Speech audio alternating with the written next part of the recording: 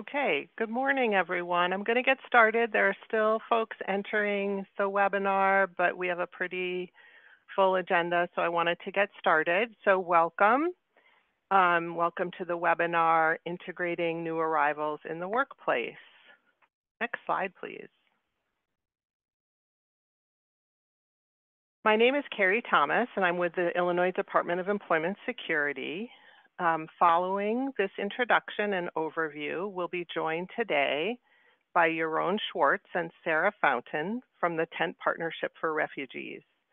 They'll provide some insight and expertise and strategies for employer-based hiring solutions um, and hiring programs for refugees and new arrivals.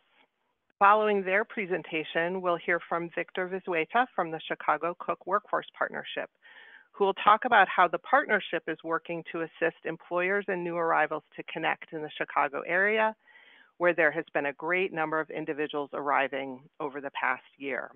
And we will close with a question and answer period. I also want to mention that integral to today's webinar has been the Illinois Department of Commerce and Economic Opportunity, whose Office of Employment and Training team has been leading the state's workforce efforts related to new arrivals, coordinating all of us partners, as well as coordinating with the Illinois Department of Human Services and the Governor's Office. Next slide, please.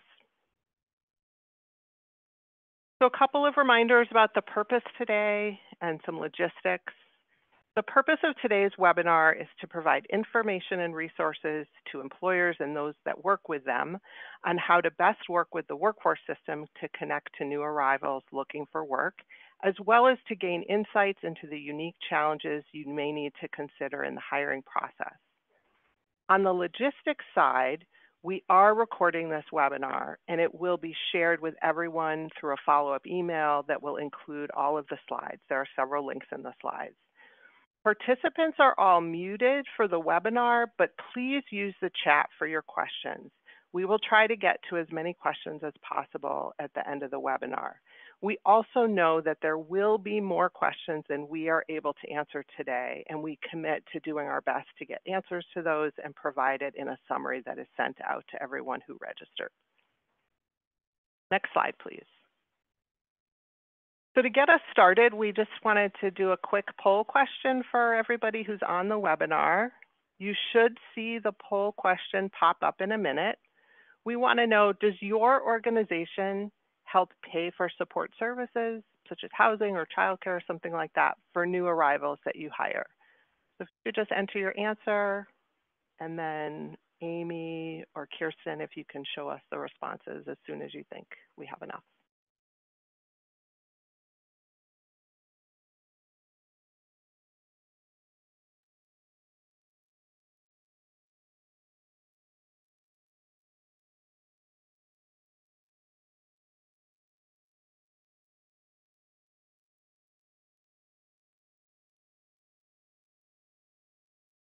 We'll give everyone a couple more seconds.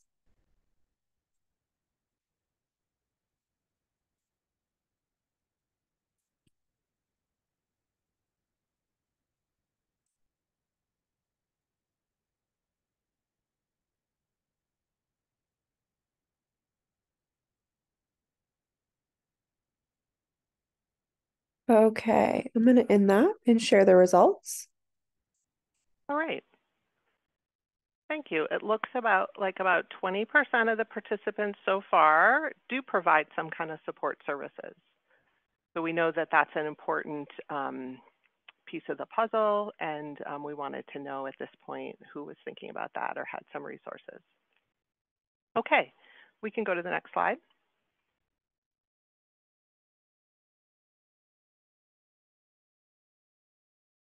All right, I also thank you everybody who registered and filled out the registration questions. I wanted to kind of give a picture of who's on today's webinar. Um, so I think we have over 350 people registered for the webinar. Um, and of all the attendees today, um, not surprisingly, the majority are from the 10 county metro area, including over half from Cook County. Uh, but we do have um, a strong interest from um, outside of the metro area. So we do have the remainder of individuals are representing, have services or work in over 20 other counties outside of the 10 county metro area. I will also mention that we have a range of types of organizations that are present are participating. So empl employers, business intermediaries like chambers of commerce, local workforce areas, community colleges, unions, and a wide range of community-based organizations, uh, workforce organizations, and other support organizations. a quick snapshot of the employers that we know are had registered for today. So they represent over 20 different industries. The top three you see on the screen, not surprisingly, manufacturing is the top one. Um, they are a range of different sizes, the majority being under 1,000 employees, um, but there are some that are quite large. Um, it is worth noting that over 50%, so 54%, um, said that they did have open positions right now that do not require strong English language skills. So thank you for everybody re responding to the per, um, registration questions. Um, and also people did provide us with questions that helped us uh, prepare for today and that we will be providing answers to either today on the webinar or in our follow-up communication. You can go to the next slide. So very quickly, I wanted to give a high-level overview of how the Illinois workforce system facilitates employer-led solutions to the hiring needs through the American Job Centers in Illinois, also known as Illinois WorkNet Centers. Three areas that are really relevant to today's conversation are hiring strategies, training strategies, and English language services. But I do want to be clear that that's not the only thing that um, the Illinois workforce system helps employers with. We help employers connect to hiring incentives. We help them with customized labor market information. There's a range of things. On the hiring side, um, for those of you who aren't aware, there is a free um, uh, job board that employers can put all their job postings in called Illinois Job Link. Um, there's also a virtual job fair system that employers can do recruiting through. And then, of course, there's a range of ways that um, the Illinois workforce system through the American Job Centers helps with hiring events. Um, there's also a range of training solutions, and when Victor does his presentation, he'll be talking about how the partnership um, does those training solutions. And then, of course, really important to the population we're talking about today, um, there's a range of English language services that can be accessed um, through the American Job Center system um, that are delivered by our partners um, through the community colleges, schools, and community-based organizations. Next slide, please. If you are not already connected to the public workforce system, the best way to get started is to find the American Job Center closest to you. Um, and there is a service finder on the Illinois WorkNet website that is linked here that you will get um, following um, when you get the webinar slides. Next slide, please. Any American Job Center can assist with hiring needs. And in Cook County, there are 10 American Job Centers. Um, and any of them can help with hiring needs um, of, for new arrivals. But in addition, um, we wanted to note that uh, six of the American Job Centers in Cook County have been designated as priority welcoming job centers. They are all listed here, um, including their locations and their phone numbers and links to their websites. So that's an important piece of information to have. You can go to the next slide. Thanks. So to provide some context for today, we wanted to give some information about the state's efforts to assist new arrivals with their um, employment authorization and temporary protected status. So as many of you know, thousands of new arrivals have come to the Chicago region from the southern border of the United States. Some, but not all, are of these individuals are eligible to apply for temporary protected status, or TPS, as it's called, or work authorization. EAD is the acronym for Employment Authorization Determination and is frequently used interchangeably with work authorization. The state of Illinois, with the city of Chicago, Cook County, federal agencies, and many, many community organizations have been coordinating efforts to quickly help those who are eligible apply for both TPS and work authorization. The Illinois Department of Human Services is leading much of that work, and the Department of Commerce and Economic Opportunity is leading efforts with workforce partners to get people quickly connected to employment and, if needed, workforce services. This webinar is actually part of those efforts. Work authorization, or EAD, is a legal status for individuals who meet specific eligibility criteria, and not everyone is eligible. The Department of Human Services has put together an excellent FAQ on temporary protected status um, that we will share. I think um, we're going to share that in the chat right now. Um, and so that is a useful piece of reference material for everyone. Since the fall, the Department of Human Services has coordinated legal, legal workshops with legal aid providers and pro bono, pro bono attorneys to facilitate it to facilitate an expedited application process for many new arrivals who are eligible. The first phase of that was to focus on those individuals who are living in temporary shelter. And as you can see from the chart on the right, they estimated that about 3,500 individuals would be eligible. Um, and to date, um, this data is from the end of January, I believe. Um, close to 3,000 applications have been completed and submitted through that process, and over 1,200 individuals have already received work authorization, and many of those are already working with the public workforce system to find employment. The legal aid, these legal aid workshops are co-located with federal immigration authorities and workforce organizations so that federal checks and job search resources are provided simultaneously to the new arrivals. Uh, the folks um, at the workforce table, so the Chicago Cook Workforce Partnership and others, have been pro both providing information to the new arrivals about how to access services, as well as collecting some basic information from them. I'm going to go through that in a minute. So now IDHS, uh, the Department of Human Services is working with partners to focus on new arrivals who are living in community, who might be in rental assistance programs or living with family members to find them who are eligible for TPS and EAD to help them with that application process. That, that is, of course, a more dispersed population, but these legal workshops will continue. You can go to the next slide. So I wanted to give um, some basic information that was collected from the interest forms. This information is current as of about three or four weeks ago, so Victor may be able to provide some more updated information. Um, but you can see that this is a highly motivated, work-ready population. 71% of those who completed the interest form are between the ages of 25 and 45, and 92% are eh, uh, between the ages of 18 and 45. About three quarters have completed at least high school in their home country, and about a quarter have some college or trade school. So employers will want to be thinking about opportunities for training and upskilling or new skills or figuring out transferable skills to um, jobs in the United States.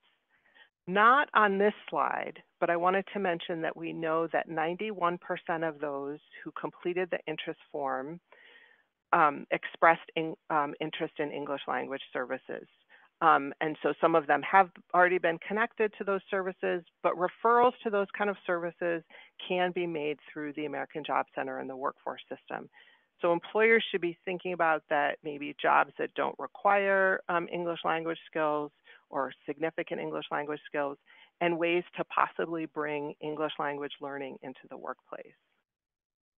Finally, you'll see that individuals have worked in many different industries and close to 30% identified having worked in construction. So that's an overview of where we are now with the new arrivals. Um, but I do want to now turn this over to Yaron and Sarah from the Tent Partnership for Refugees. They are an interact with an international organization that mobilizes major businesses to connect refugees to work. Yaron. Thank you um, so much, Carrie. And it is great to um, be here with all of you today. Um, and thank you to the Illinois government for the opportunity to present. Um, my name is Yaron Schwartz. Um, I use he, him pronouns, um, and I am TENT's uh, director for the United States, overseeing the team that is helping companies hire, train, and, and mentor refugees throughout the country. and I'm thrilled today to be joined by my colleague Sarah as well, and we'll be presenting alongside one another. So if you could go to um, the next slide to complement um, the wonderful information that Carrie just shared, um, in terms of what we want to discuss in today's presentation, we want to start off by telling you a little bit about Tent and who we are as an organization. We're then going to talk through best practices for how companies can implement a refugee hiring program, starting with how a company sets their internal strategy and develops a refugee recruitment pipeline. And then once you've actually hired a refugee, how do you create a welcoming environment for them as one of your employees? And how do you continue to um, drive impact? Um, and excited to answer any questions that folks have at the end as well. So let's dive right into it um, on the next slide.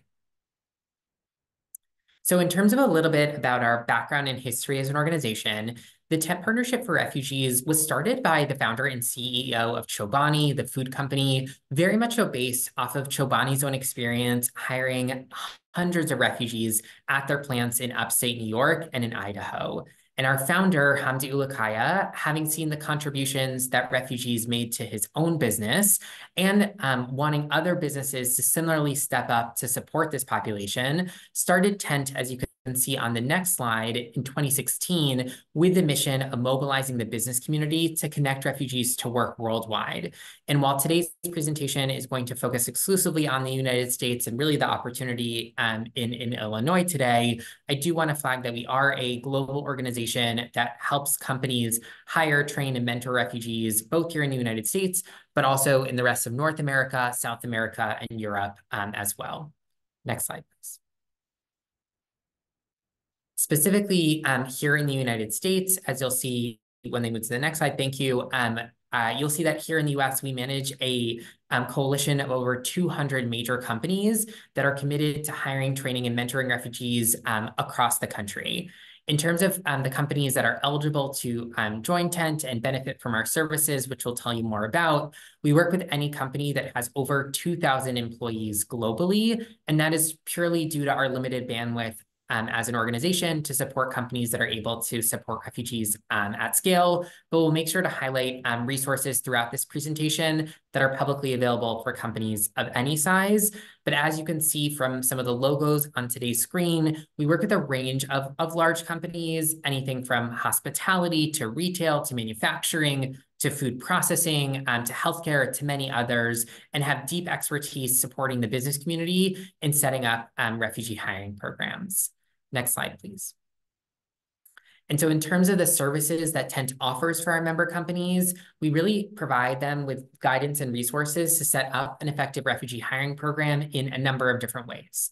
So the first thing that we do is that we help our member companies set the strategy for their um, refugee hiring program, advising them on uh, the locations and types of roles that uh, make the most amount of sense to prioritize for their refugee hiring efforts and making sure that companies, HR teams and talent acquisition teams feel like they have a very clear plan of how they're going to um, uh, kind of uh, focus on this issue area and effectively recruit from this talent pool.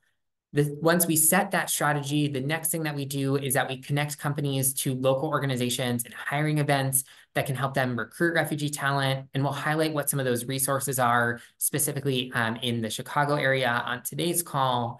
And then once we set the strategy and help companies set up that refugee recruitment pipeline, we then also train companies on best practices for refugee integration, thinking through how you need to tailor uh, your recruitment and application processes to welcome refugee talent. And then as refugees kind of grow out your business, thinking through how to overcome challenges like transportation and language barriers um, that refugees face when integrating um, into the workforce and so um, we do, um, we support companies with this training through monthly calls for our member companies, through guidebooks that we'll highlight on today's call, as well as other resources that we develop. We don't charge anything for companies to join Tent or to receive access to our services. Everything that we do is free, and we're really just focused on motivating the business community to do more work on this issue and to make it as easy as possible for them to do so. And so with that, I'm going to pass it over to Sarah, um, which you'll see on the next slide, is going to start talking you through the process for how you can actually start um, implementing a refugee hiring program. Thanks, Yaron. Um, and why don't we go ahead and go to the next slide. Um, there are a number of reasons why we think it's important for companies to be intentional when it comes to setting up a refugee hiring program and really acknowledging the many barriers that refugees face accessing work in the United States. Uh, by being intentional about setting up these programs, there are a number of benefits that your company can see, including increased employee retention, um, benefits to consumer perceptions around your company's brand and reputation, and as well as um, to be able to attract uh, new talent for your overall uh, recruitment efforts for your company. Next slide. The first step in being able to set up these programs is to designate a lead for your refugee hiring program. We know that there are a number of people involved in recruitment efforts at your companies. Um, and so really this person's role will be to oversee the um, strategy and implementation of your refugee hiring program and make sure that you have the resources that you need um, to be able to successfully implement these. Generally, we see that um, the leads for these refugee hiring programs come from HR or DE&I to be able to oversee these efforts. Um, but on occasion, we do see that um, we do, professionals are coming from CSR public policy backgrounds as well. So it really depends on your company structure and priorities, um, but this is generally the first step that we see companies take. Next slide. Once you've identified a lead for your refugee hiring program, the next step will be to define goals for your organization moving forward. We find that companies are successful in these efforts when they are able to set specific and measurable targets for the number of refugees that they're going to be hiring in Illinois or nationally. Um, and so to be able to form these goals, there are a number of different factors that you can look at to be able to effectively set these goals and drive success for your company. This includes um, the number of jobs that you do have available, um, first year attrition rates, what your recruitment pipeline looks like, and from there, you'll be able to understand how many refugees you think your organization would be able to hire, as well as understanding the landscape as well um, to be able to see how many refugees are arriving to that area. For those of you who do have over 2,000 employees and would like to join Tent, um, we, we do provide direct support to our members to be able to understand and define realistic yet ambitious goals to be able to drive the refugee hiring efforts. Um, so we'd be able to provide that support as well for large companies. Next slide.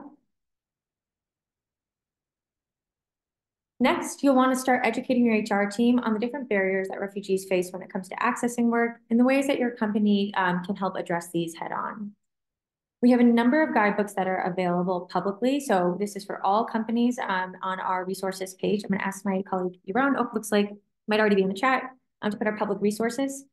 And these will include um, some useful tools, some case studies and best practices from companies that have been hiring refugees for a long time, about ways that you can educate your HR teams on these different challenges as well. Next slide. And as you're communicating to your HR teams, it's also going to be important to communicate with your stakeholders that you're taking on this incredible work. Um, so internally, it's a great idea to be able to spotlight this work through um, employee newsletters, internal messaging structures like Slack or Microsoft Teams, and really promote these efforts um, during your team meetings. We find that when companies have multiple departments that have an awareness and are really excited to drive these efforts forward, it can make a big difference when it comes to championing um, starting a refugee hiring program and getting it off the ground. Externally, there are also a number of benefits when it comes to being public about your refugee hiring efforts. So we encourage you to also share the efforts that you're putting in on social media and any press opportunities, if you have any speaking opportunities um, within your industries um, to be able to really share the work that you're doing as a really meaningful DE&I effort and through company events as well. Next slide.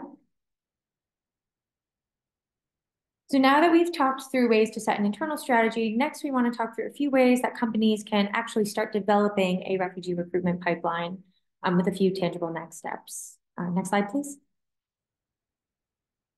The first thing you'll want to do is to be able to identify locations to pilot these refugee hiring efforts. So really looking closely at the specific sites that your company has to be able to start these efforts.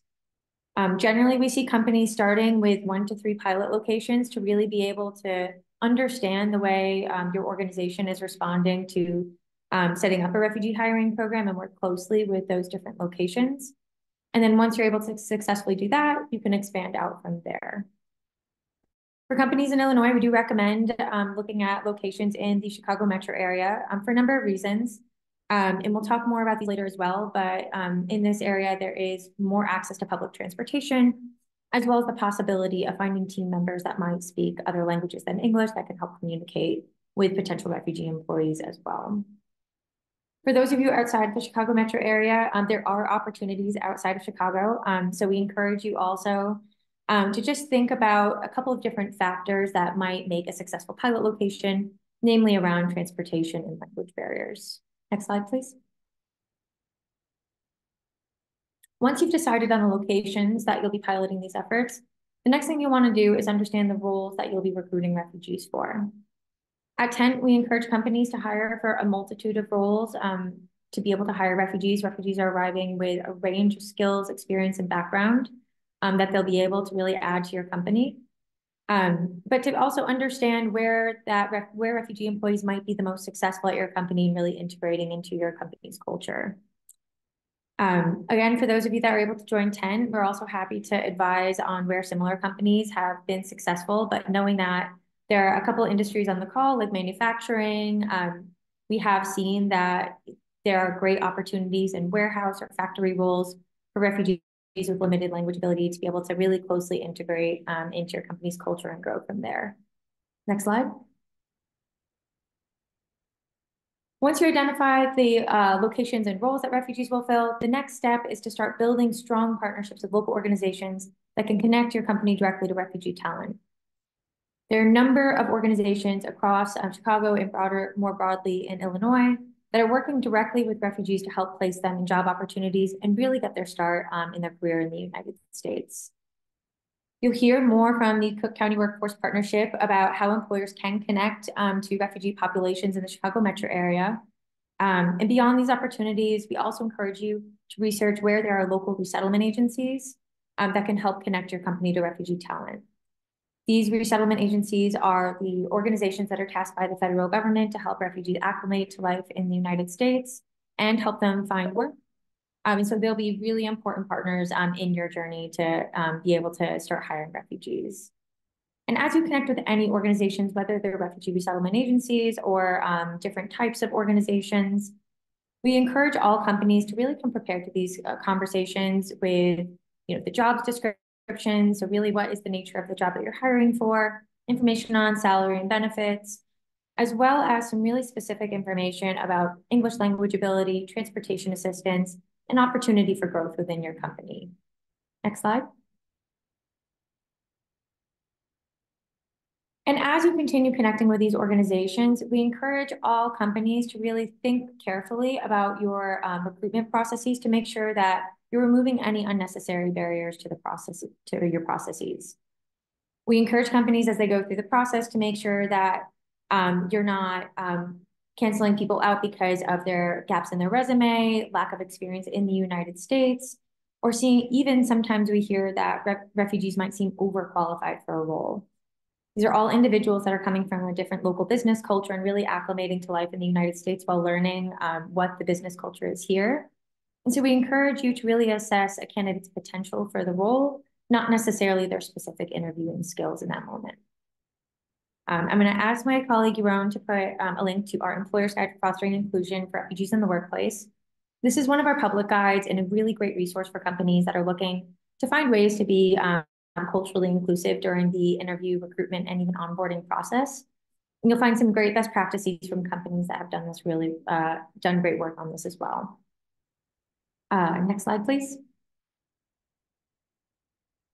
Throughout the process, it is very likely that you are going to um, see some language and cultural barriers come out throughout the interview process. And there are a number of ways that companies can address these head on. The first step is to really examine the roles that you're hiring for to understand what the specific English language requirement really is for that role. Oftentimes, we see companies, um, especially, especially in um, sectors like the manufacturing space, have concerns about communication um, in those first few weeks of the job security or safety concerns, um, to be able to know that people can understand uh, proper procedures. Um, and if you put on a job description that English is needed, it might inadvertently screen out a number of people who have elementary English skills, but maybe aren't as conversational in English yet. So it is really important to specify what is needed in English and what has some flexibility um, in terms of your workplace. Um, in terms of cultural differences, we encourage you to also be mindful that there are a number of different communication styles in local business cultures. Um, and most of those um, are ways that companies can really expand their view of what professionalism can look like in the workplace. So if someone comes in and they're not making eye contact or there are gender and age dynamics that um, don't seem as familiar, we just encourage you to keep an open mind that someone might just be coming from um, a different sense of what the business culture looks like. And if there are specific requirements for your company to just make sure that you're being upfront about those as well. Next slide, please. The last major barrier that we did want to cover was considering transportation barriers um, that might affect the ways um, that your um, potential refugee employees are able to get to work. Refugees are not arriving with a driver's license um, or a car, so oftentimes, especially in the initial uh, months um, in the United States, they're going to need to rely on public transportation or company-sponsored transportation to be able to get to work. For those of you in the Chicago metro area, this might even just mean finding where there might be a local bus route or a metro line nearby and making that explicit throughout the interview process. And for those of you outside of the Chicago area, we know that there are bus routes that do run. Um, so if your business is near one of those, that can be a great opportunity to just showcase through the interview process that there is a means for folks to be able to get to work. Next slide, please. So now that we've talked about ways to set an internal strategy and also develop a refugee recruitment pipeline, I'm going to pass it back to Yaron to talk a bit about ways that companies can create a welcoming environment for refugee employees. Thanks, Sarah. And, and we know from the, the poll up top that most of your um, companies have yet to hire um, refugees, but did just want to preview a few things to have on your radar that once you actually do hire a uh, refugee employee, here are a couple of best practices to be thinking about, about how to create a welcoming environment for them. So next slide, please. The first thing that you're going to want to think about um, is setting up a refugee-specific um, onboarding program. For many of the refugees who you'll hire, this is going to be their first job in the United States, and so they aren't necessarily going to be familiar with American workplace norms, American benefits, and, and, the, and the experience of working at an American company. So you're really going to want to make sure that you're tailoring your onboarding experience for refugee employees to make sure that they have a good sense of the expectations of them as an employee, um, and that they're really being set up for success in their first 90 days um, on the job. So a couple of very tactical ways that you can do that. You can think about setting up a buddy program for refugee employees where they get matched with um, a buddy at the company who speaks their language, who can really walk them through the different resources that a company has, especially around company benefits. You can set up orientation sessions with HR to make sure that they have an opportunity to ask questions about the expectations of them as an employee at your company. And you can also think about um, translating key onboarding materials into the refugee's native language to make sure that they're catching all of those nuances. I think we can all appreciate that starting a job at a new company is challenging for all of us. And so you're going to want to have that extra level of touch and engagement with, um, with these individuals to make sure that they have a positive experience in their first few months. Next slide, please. You're also going to want to start thinking about um, how you can support the professional development of your refugee employees. One thing that we know is that um, refugees are often very grateful for the opportunity to work at a company that creates a welcoming environment for them and often have higher retention rates than the average employee. And so they're planning on, many of them will plan to stay at your company for a long time. And so you as a as a as an employer really want to be thinking about how are you going to be investing in their professional growth. And so that is both thinking about what existing programming does your company offer to support all of your employees and making sure that your refugee employees know about those benefits like any college classes or credentialing or training that you offer to your employees and making sure refugees are aware of those. And then thinking about what additional resources could you potentially offer to your refugee employees to supplement that. So maybe you create, uh, again, a buddy or a mentorship program internally for your refugee employees, or you invest in English language classes to support them, to help them quickly learn English so they can grow at your company. Next slide, please. And then you're also going to want to be thinking about how do you create a more culturally inclusive workplace for your refugee employees to make sure that they feel welcomed um, in, in their in, with their full selves in your workplace.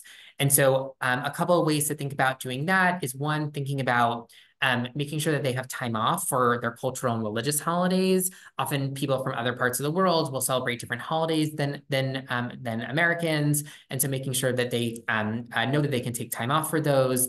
And similarly, making sure that they have culturally appropriate food options. A good example of that is that if you've hired a practicing Muslim um, uh, refugee employee, you'll want to make sure that they have halal food um, available.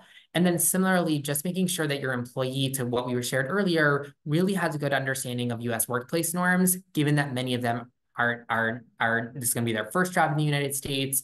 And so really making sure that they get training or have a buddy who can really help them better understand kind of uh, what it's like to work at a company in the United States and really from, from this very small details that many of us take for granted um, with our understanding of um, American culture. Um, next slide, please. And so now that we've kind of highlighted a few kind of best practices for welcoming environment, to how to create a welcoming environment for refugee employees, we now want to talk just through some some some next steps for how you continue to drive impact moving um, forward.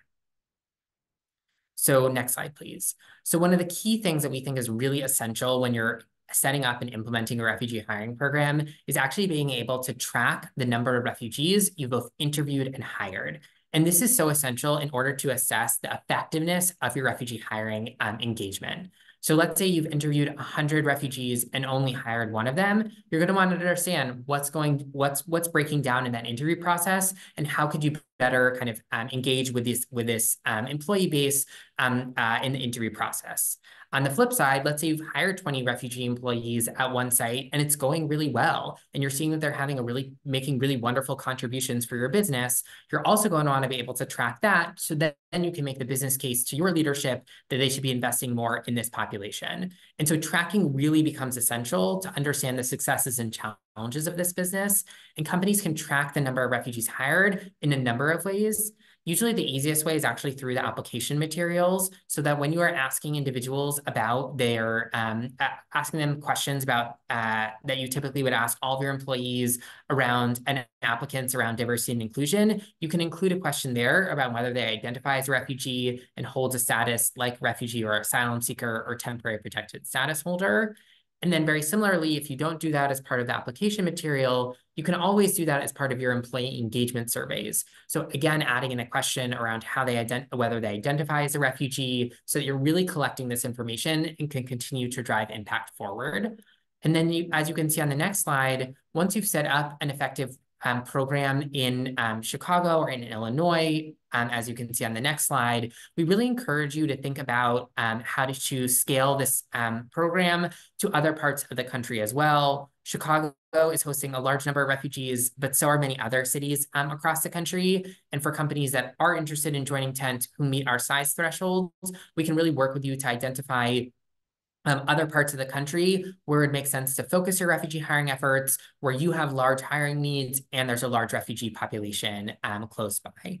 So um, uh, as you can see on the next slide, um, we would be really thrilled for any company that has over 2,000 employees to um, join Tent and reach out to us. As you can see on the next slide, our um, uh, here are our emails. We'll also put them in the chat. So feel free to um, reach out to us. And then for companies who don't meet our size thresholds, please rely on some wonderful resources in Illinois that we've been sharing in the chat on our publicly available resources and hope that all of your companies will step up at this really critical moment for refugee integration and start hiring from this population.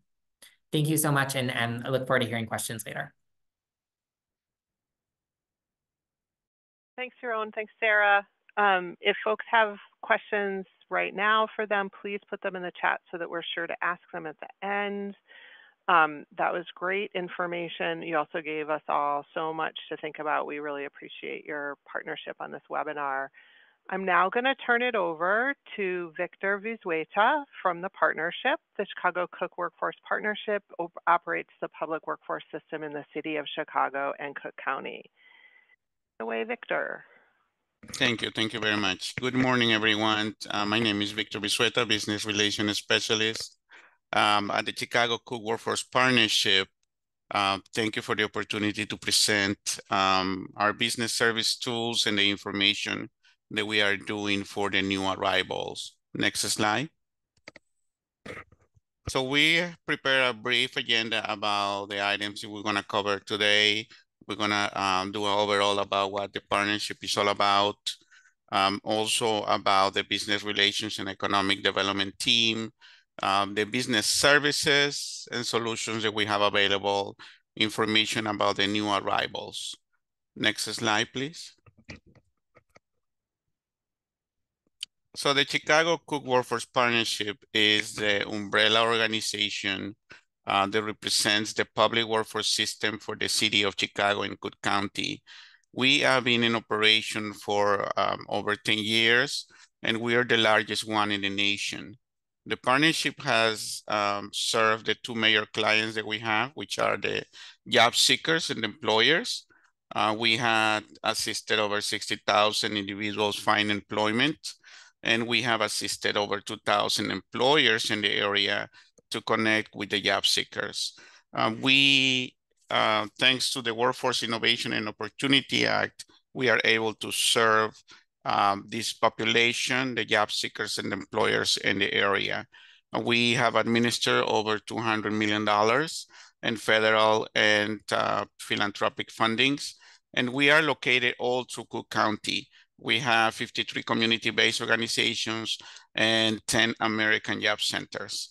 In addition, we got four uh, sector-driven workforce centers that serves a total of 132 municipalities.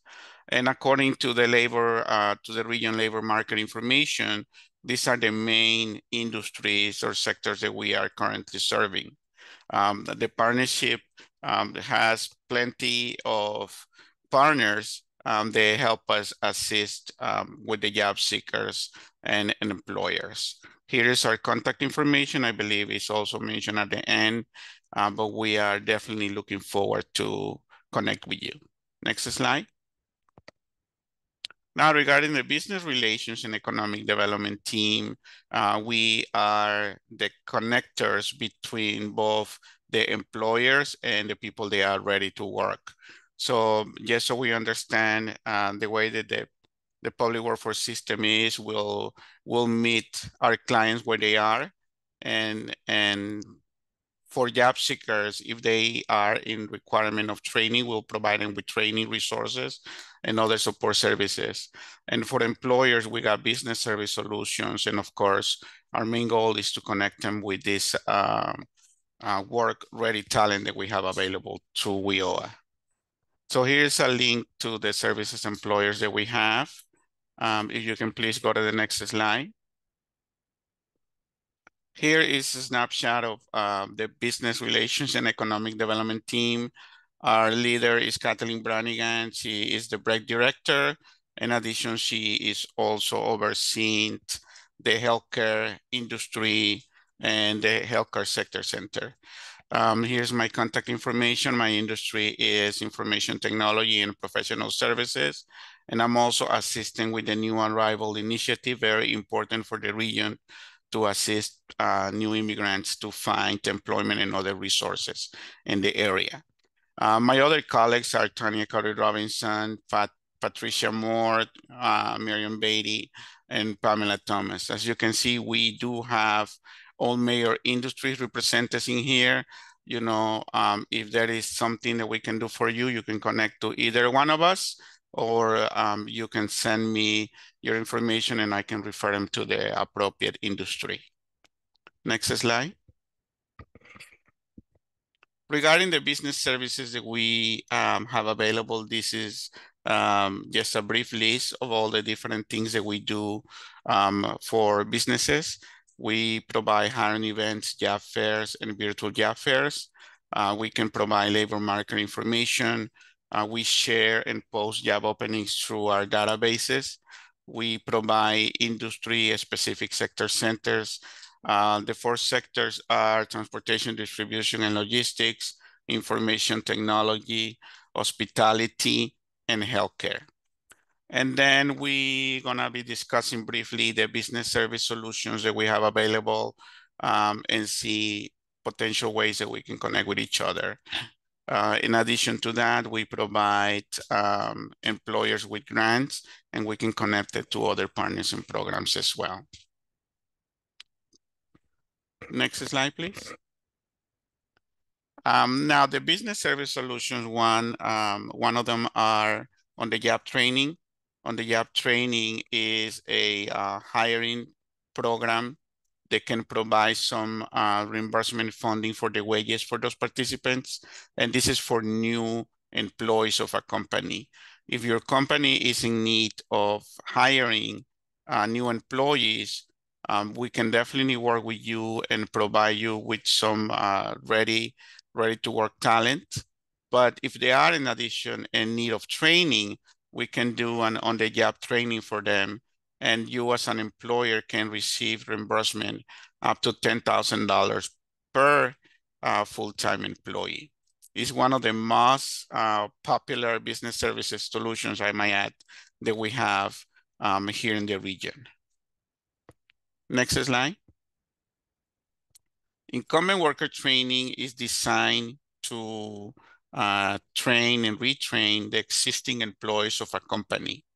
Um, something very important regarding incumbent worker training is that um, as many of our other training services solutions is a reimbursement program. The difference is that this program can uh, potentially be up to 100% reimbursement. So if your company has existing employees that um, are in need of training, uh, we can definitely work with you. You will select the training that you need. You will select the number of participants that you do, um, that you send to the training. You select the training provider, trainer provider. So, and we can offset the cost of that training and enforcement reimbursement. Next slide. Customized training is yet another business service solutions that we have. There is a special uh, requirement from employer. Um, when an employer has a certain new system or a new tool that they want to provide training on, they can either um, work on training some of the existing employees or they can um, they can be part of the organization of that customized training where they will decide who um, who will they want people to be trained. And then when they hire them um, full time, um, they will already have the skills that they need to perform that job. So um, again, another popular business service tool, the reimbursement, the potential reimbursement for that program can be up to 50% of the training cost. Next slide. Now, um, if your company is willing to um, train participants, but is not in the capacity of hiring somebody full-time or part-time, there is a pay work experience and other business service tools. Well, um, the public workforce system will pay for the training up to a certain number of hours and um, you as an employer will receive the benefits for having somebody um, on your staff that will be working and providing the training and knowledge to that person that might be new to that industry or sector. So it's 100% coverage of the participant wages. And then it can be um, a, an initial an initial part of um, the different business service tools that we can offer um, I always mention to my colleagues that uh, we can do more than one business service solutions to an employer. There is employers that um, definitely look at the public workforce system as, as, a, as a matter of uh, providing them with the resources they need. And that's what we're here for, to provide those resources. So, so an employer, you can have somebody be in a pay work experience, and then they can hire that person full time and benefit for an OJT and receive reimbursement for having that new employee um, for the training portion of those new wages. And in addition to that, after that person has been uh, employed for a few months, you can complement that with an incumbent worker training project. So definitely there is ways that, that we can work with you and different um, on the different areas or needs that you have as your business. And as I mentioned earlier, we do have um, other resources that we can provide to you as the public workforce system.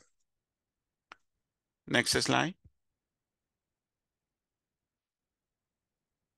Apprenticeship um, is an industry-driven, high-quality career pathway. So, and again, this is an employer-driven um, initiative where if you want to provide um, a career um, that can lead to um, stackable credentials for the employees and participants, uh, apprenticeship is something that you as a company should look into it.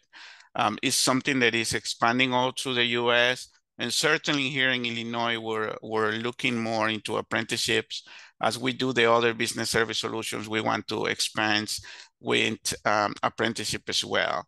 I will also add that the business service solutions that I mentioned earlier, such as OJT and incumbent worker training, um, can be part of apprenticeship as well. So as you can see, everything is related and um, it is possible to access more of, of one of the services that we have as, as a system. Next slide. I believe, yes, this slide has the contacting, um, the contact for the different resources for apprenticeships. Um, there was a boot camp that happened um, last year where we have some information. There is a lot of great materials provided um, from that um, event last year. And um, there is currently a talent pipe management uh, training. The materials are in here as well. And of course, there is funding opportunities and there are plenty of resources for apprenticeship. Apprenticeship is um, is a great services that you can do for your um, when you want to not only um, expand your services that you have for your employees, but they can also provide a lot of great resources for them. Um, when if retention is an issue or finding the right talent and cultivating the skills of those new employees, um, is an issue for your company, we can definitely look into apprenticeships and ways to offset some of those uh, barriers for employment in some of those areas. Next slide. Regarding the new arrivals, um, so we have, uh, we do have a presence in the federal building where the new arrivals um, attend to work on the documentation they need um, so the new arrivals are doing the temporary protective status or the TPS, and then doing the employment authorization um, documentation or EAD, I believe the acronym is. So um, we have served uh, or we have collected information from um, over 1,700 uh, people. They have um, they have attended this event at the federal building. So we have also in communications with uh, 22 of the shelters for the new arrivals. We have collected this information because as a public workforce system, we want to serve them. And once, um, right now, one of the main asks for them is, as it was mentioned earlier, um, I believe over 90% are looking for um, English services or English classes. So we are connecting them with our, our different resources that we have available um, so they can access um, those English courses or English training. Now, um, many of them are already starting to receive their employment authorization. So the next phase for us is to invite them for um, a series of events that we want to have, uh, more specifically, um, next week, um, Wednesday, we are going to have a, uh, resource fair that's going to take place at Malcolm X College. We want to purposely invite those that have their work permit or they have come through the information we collected, and we invited them to attend the resource fair.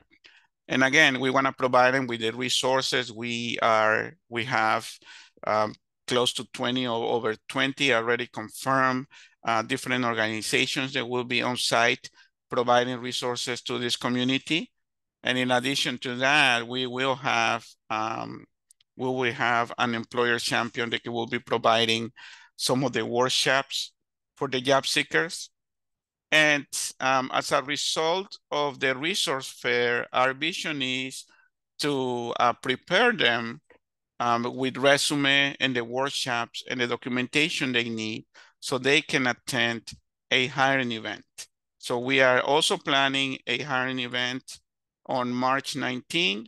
It's gonna take place at the same place, Malcolm X College. They have uh, graciously provided us with the uh, location and they're one of our partners. So we want to have a hiring event and we want representation from different uh, industries. um, the ones to hire the new arrivals. There is an, an employer interest form link uh, that is going to be provided through the PowerPoint, and I believe it's going to be in the chat as well. So those employers that are interested in participating, it's a free event. Uh, we will prepare uh, the job seekers and we can provide the resources and tools that you need for, um, for the hiring event. We will have other events and we'll follow up with those employers. Um, you know, they are interested, but they may not attend the March 19 event we can definitely work one-on-one as a public workforce system, again, through our American Job Centers or through the partnership or through our partner agencies and connecting with um, the new arrivals. There is plenty of opportunities um, to connect the dots and we'll, we'll make sure that, that we'll have those conversations um, so we can serve you better. Next slide. This is just our um, information so you can connect uh, with me or with anyone on our teams. Again, um, the Chicago Cook Workforce Partnership is a public workforce system, and um, I'm sure we have uh, many of my colleagues. I, I, saw some of the names earlier. I'm happy to see um, some of my partners uh, be here today. Is there any questions at any time? Please let me know uh, we are here to serve you and provide the resources that you need. Thank you. Thank you. Thank you, Victor. That was great. Um, we now have time for questions. Um, I know that some people could only stay for the hour, so we have lost a few people, but two things I'll mention. One is that questions and answers have been happening during this entire webinar, both in the chat and in the Q&A, which you can access in the bottom bar at the bottom of your screen. Um, the second thing I will say is we know there's a lot of questions about different statuses um, and things related to that. Um, thank you, um, Yaron and Sarah, for doing some clarification based on your knowledge and expertise. Um, we will make sure that any Q&As that have already come up um, or ones we can't answer today will be included in the follow-up information. Um, thank you also to a number of the participants in this webinar for sharing resources um, that you have in the chat, and we will include those in the follow-up um, resources that go out to folks. Um, but Kelly, do you mind um, flagging any questions that might remain unanswered for us? We might want to ask, sorry, Kelly, I didn't mean to step on your toes. We might want to ask Yaron and Sarah. There was a couple great question and answers in the chat. If you would like to address any of those kind of in a summary, especially around language, that'd be a great way to start. And then Kelly can read any of the other questions. Thank you. So in terms of language barriers, as we highlighted in our presentation, it's one of the main challenges that refugees um, face um, when integrating into American society. And so for example, if you were to attend the event that Victor mentioned on March 19th, most of those individuals are going to be Spanish speakers with pretty limited English language proficiency. And so you're really going to want to be thinking about the types of roles that refugees um, could fill um, at your business that don't require um, English language proficiency, where they can learn English on the job and then take on additional responsibility as time goes. We have a, um, a, really great guidebook that I put in the chat earlier about how companies can address language barriers for refugee employees. So I highly recommend taking a look at that as well.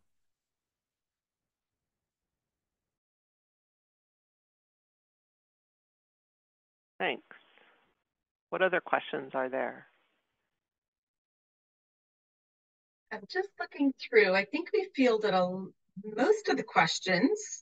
Um, let me just glance through. The one that I think would be helpful is suggestions for small businesses or entrepreneurs aside from reaching out to community organizations. Are there other avenues? And possibly victor can speak to this um, or kelly or carrie about what are other avenues for the smaller businesses or entrepreneurs that are available within the state? Uh, yeah. So um, actually we we definitely um, love to partner with uh, with small businesses we we even um, We even provide, you know, one-on-one services to them. I know that for small businesses, um, you know, sometimes HR um, is very small or non-existing in some cases. So we can definitely can help them all the way from providing a uh, creating, helping them creating my job descriptions to having a one-on-one um, hiring event just for that small employer to the closest location that we have on site.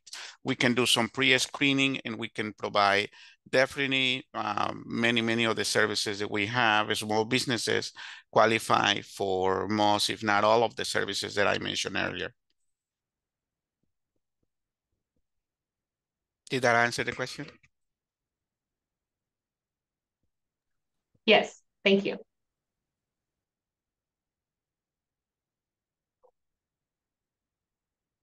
And I Also think- just wanted, oh, go ahead, Kelly, go ahead. Oh, I was just going to add, um, I'm going to drop a link in the chat to adult education providers. Um, it's a centralized link. I know there was a couple questions that came through about um, ESL classes for English language learners and, and resources like that. So it is on the centralized landing page that was developed for uh, new arrivals.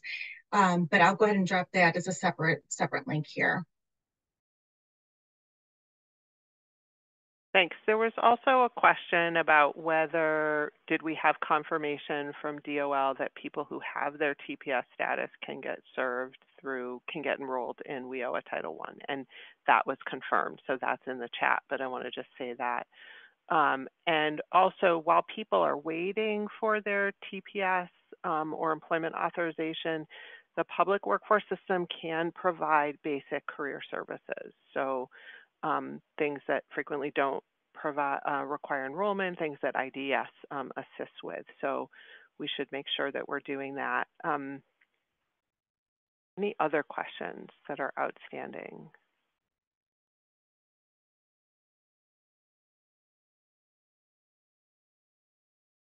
Okay.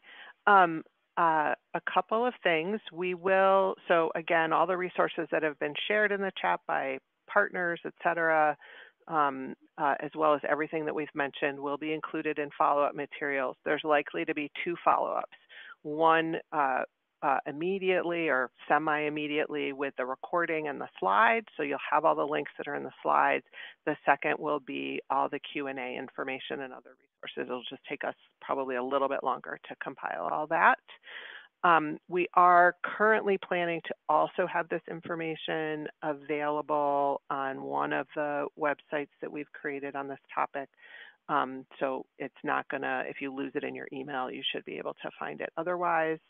Um, then I do wanna just say thank you so much to the Tent Partnership, um, to Victor and the partnership team that's really leading all the efforts uh, locally at the workshops, to Kelly and the team, to Amy and the, all the logistics for this.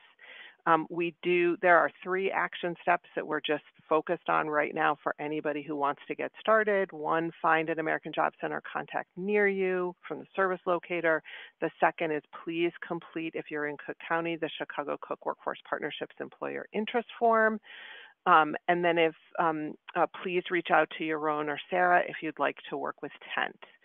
Um, so, and also just a final thank you for everyone who participated. We had over 350 registrants. There are about 200 people on today. Um, so we're really excited to work with all of you and really excited about the commitment to making a successful transition into employment for so many people who need help. So thank you. Thank you for having us. Yeah. So we have one final poll that we're going to launch. And then we will do that. Um, you'll also have an evaluation link with the slide deck and the resources that we'll be sharing out and that pulls up. So please take a second. There are multiple questions on it. So we'll, five questions. We'll give an opportunity to answer those. And then thank you very much for your time today.